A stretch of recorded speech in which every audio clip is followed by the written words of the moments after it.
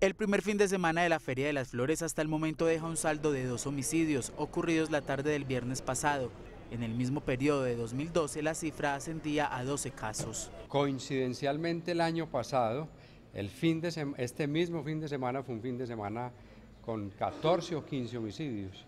Miren cómo eh, el sábado, el viernes hay dos homicidios en la ciudad de Medellín y ayer no, ayer no hay homicidios.